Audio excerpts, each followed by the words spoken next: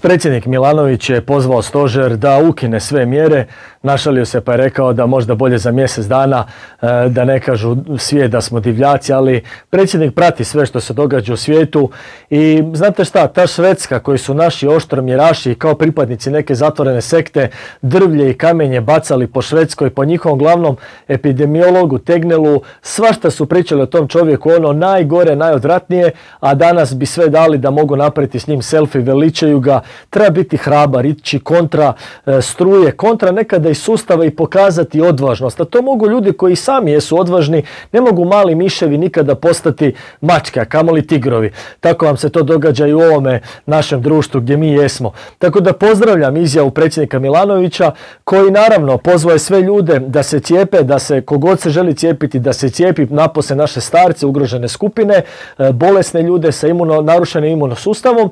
a onda isto tako rekao je da se ne smije proganjati, proganjati naše građane koji su odlučili ne cijepiti se. To je demokracija, e, to je na koncu vladavina prava i hvala predsjedniče što čuvate slobodu hrvatskih građana i što čuvate pravo građana na izbor. Isto tako radostan sam što imamo već primjer Floride koja je zabranila, ukinula covid putovnice koje isto nemaju nikakva smisla taksu na zdravi razum i na slobodu građana budući da je evidentno sada jasno da ljudi koji su se i dva put cijepili prijenose virus, a isto tako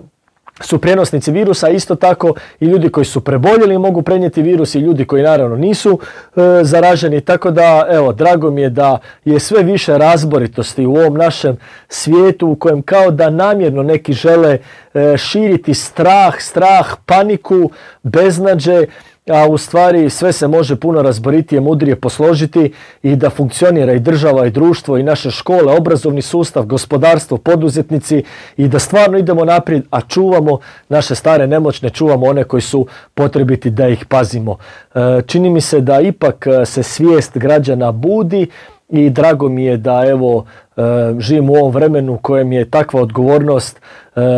prema svakome od nas, jeli, ali onda isto tako u kojem je odgovornost očuvanja onih temeljnih ljudskih prava, e, pravo na slobodu i pravo na našu demokraciju.